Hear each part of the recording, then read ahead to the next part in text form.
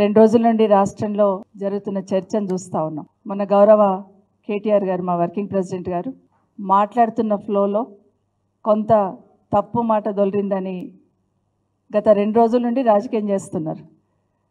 కానీ ఇమీడియట్గా పొరపాటుగా కొంత దొలిరిందని ఇమీడియట్గా క్షమాపణ చెప్పి మహిళా సోదరిమణులకు అక్క చెల్లెలందరికీ క్షమాపణ చెప్పి వారి హుందాతనాన్ని కాపాడుకున్నారు వారి హుందాతనాన్ని ప్రదర్శించారు.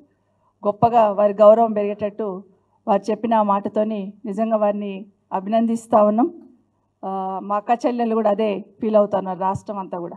మనిషి అనేవాడికి ఎక్కడొక దగ్గర మాట్లాడుతున్న సందర్భంలో ఒక మాట దొల్లుతూ ఉంటుంది. కానీ ఇమీడియట్గా తెలుసుకొని దాన్ని క్షమించమని కోరడం అనేది గొప్ప హుందాతనాన్ని తెలియజేస్తూ ఉంది. గౌరవ మంత్రివర్యులు సీతక్క గారు మాట్లాడుతూ కేసీఆర్ గారిని కూడా గౌరవ కేసీఆర్ గారిని కూడా ఇందులో తీసుకొచ్చి మీ నాన్న నీకు ఇదే నేర్పించిండు అని మాట్లాడింది కానీ కేసీఆర్ గారు నేర్పించిన సంస్కారం ఏందో కేటీఆర్ గారి రియాక్షన్లో అర్థమైంది. వారికి ప్రత్యేకంగా అభినందనలు తెలియజేస్తూ ఉన్నాం.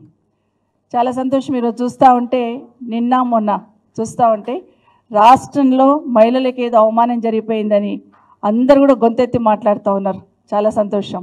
ఎనిమిది నెలల తర్వాత మహిళల పట్ల ఏదో అనుచిత వ్యాఖ్యలు చేశారని చాలా గొప్పగా అందరూ స్పందిస్తూ ఉన్నారు. ఈరోజు ఒక పేపర్ చూస్తే అయితే మొత్తం పేపర్ నిండా అదే స్పందన ఉంది. కేటీఆర్ గారు ఏదో పొరపాటు మాట్లాడున్నారు. మహిళలకు చాలా అవమానం జరిగిపోయింది. అసలు ఇంత అవమానం ఎప్పుడు గతంలో చూసి ఉండలేదు అనే లెవెల్లో స్పందన చూస్తున్నాం. చాలా సంతోషం. కానీ ఎనిమిది నెలల్లో రాష్ట్రంలో జరుగుతున్న అన్ని ఒక్కసారి మననం చేసుకుంటే ఇప్పటికైనా కళ్ళు తెరిచిందా అనిపిస్తూ ఉంది.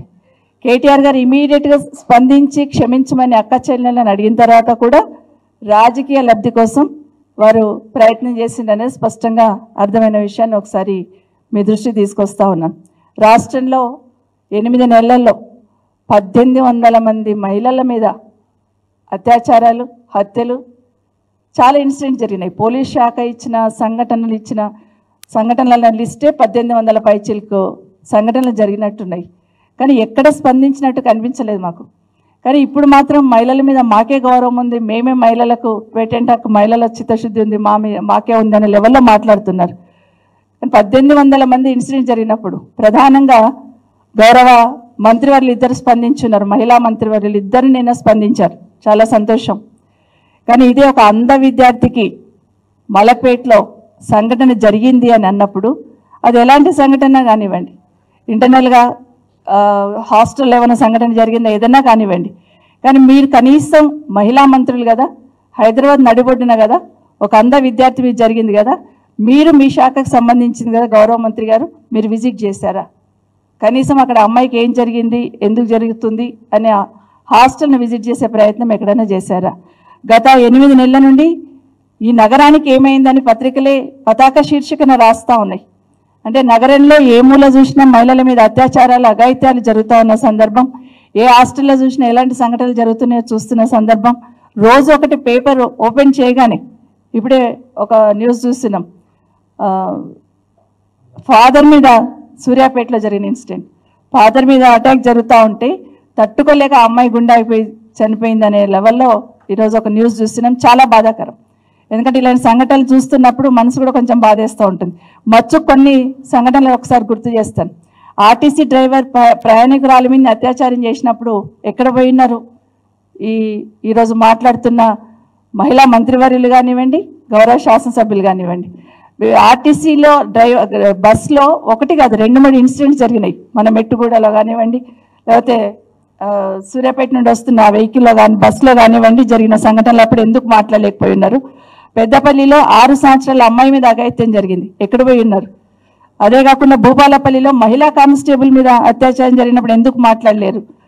నాగర్ కర్నూల్ చెంచు మహిళ మీద అత్యాచారం జరిగినప్పుడు మేము పోయి మాట్లాడినాం. నేను సత్యవతి గారు అక్కడ పోయి మాట్లాడిన తర్వాత ఈ ప్రభుత్వం రియాక్ట్ అయింది తప్పిస్తే దాని గురించి మాట్లాడే కనీసం చెప్ మాట్లాడడం కూడా ఇష్టపడలేని సందర్భం చూస్తున్నాం. మొన్న పోలీస్ స్టేషన్లో చూస్తున్నాం. షాద్ నగర్లో పోలీస్ స్టేషన్లో ఏదో చిన్న దొంగతనం మీద థర్డ్ డిగ్రీ ప్రయోగిస్తే ఎక్కడ పోయింది మహిళా కమిషన్? ఎందుకు పిల్లలేదు మరి ఆ రోజు? మహిళా కమిషన్ ఎందుకు నోటీస్ ఇవ్వలేదు? దుండిగల్లో గ్యాంగ్ రేప్ చూస్తున్నాం. పోలీస్ స్టేషన్లో కంప్లైంట్ ఈయనకి వచ్చిన మహిళనే తీసుకెళ్ళి గ్యాంగ్ రేప్ చేసిన సందర్భంలో మన హైదరాబాద్లో చూస్తున్నాం. పదహారేళ్ళ అమ్మాయి మీద ఒక సిఐ అత్యాచారం చేసిండని.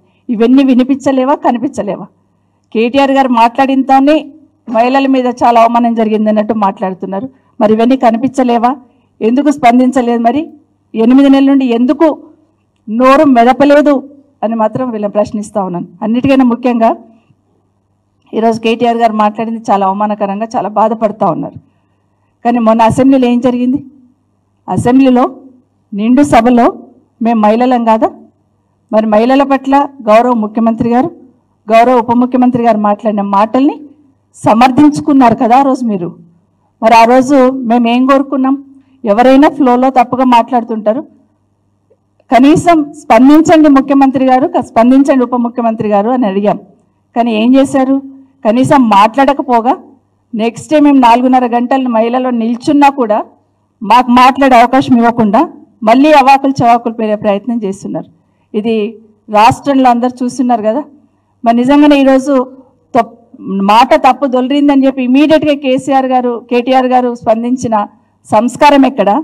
నాలుగు గంటలు నిల్చుంటే నాలుగున్నర గంటలు మేము మహిళా స- ఎమ్మెల్యేలము మాట్లాడకుండా అసెంబ్లీలో నిల్చొని ఉంటే కనీసం స్పందించడం కాదు కదా?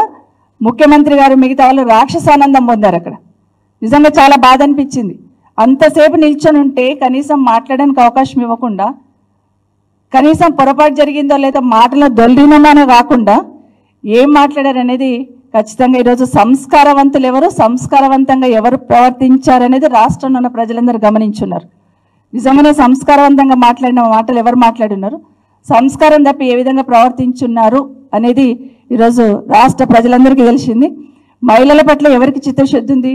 మహిళల పట్ల పొరపాటున మాట్లాడితే ఏ విధంగా స్పందించాలి అనేది గతంలో మొదటి అసెంబ్లీలో గౌరవ కేసీఆర్ గారు కేటీఆర్ గారికి డికే అన్న గారికి ఒక మాట బెగిలినప్పుడు ఇమీడియట్గా కేటీఆర్ గారితో ఎక్స్క్యూజెస్ క్షమాపణ చెప్పించారు ఆ రోజు. అది కేసీఆర్ గారి సంస్కారం మా నాయకుడు మాకు నేర్పిస్తున్న సంస్కారం అని ఒకసారి తెలియజేసుకుంటూ ఇదే కాదు ఇదే ముఖ్యమంత్రి గారు అసెంబ్లీలోనే కాదు బయటకు వచ్చిన తర్వాత మహిళల పట్ల ఏ విధంగా మాట్లాడారు అది మైక్ పట్టుకొని మాట్లాడుతున్నప్పుడు ముఖ్యమంత్రి హోదాలో ఏ విధంగా మాట్లాడారు అనేది ఒక్కసారి వెనక్కి తిరిగి చూసుకుంటే ఆలోచించుకుంటే రాష్ట్రంలో అందరికీ అర్థమవుతుంది.